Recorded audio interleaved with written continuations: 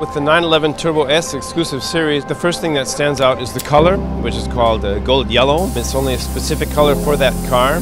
Then the closer you get to the car, the more you look at it and you find out how some of the details are worked out. We had one of the seldom chances to add a little bit more exclusivity to the car by using different production methods, different uh, technologies to make the car more individual. You see the stripes on the outside of the car in carbon fiber.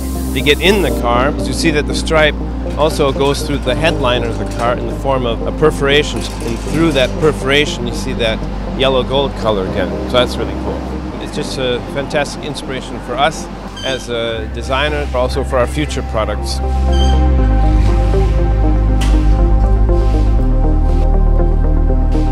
One of the things Porsche does so well is they build race cars for the roads. It's showing off to a lot of the people here that you can have a refined, lovely car with air conditioning, incredible ride, but 0 to 60s under 3 seconds, top speed of over 200 mile an hour.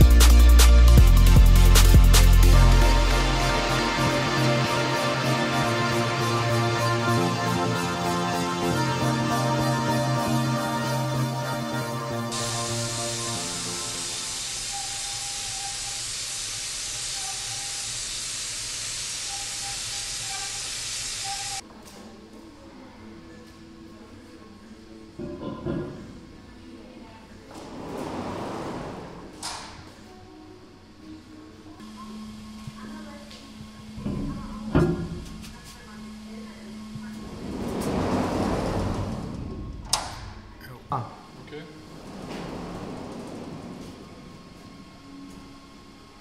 Okay.